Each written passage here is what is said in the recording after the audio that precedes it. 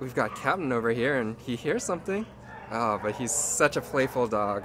And uh, we believe he is an American Toy Terrier mix, uh, male, and he is about two years old.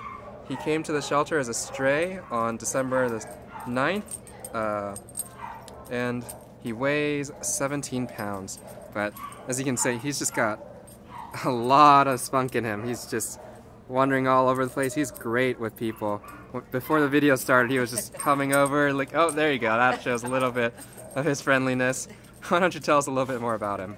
Um, he would be great for any any situation, living situation. Uh, active family or a single person who likes to be outdoors and run.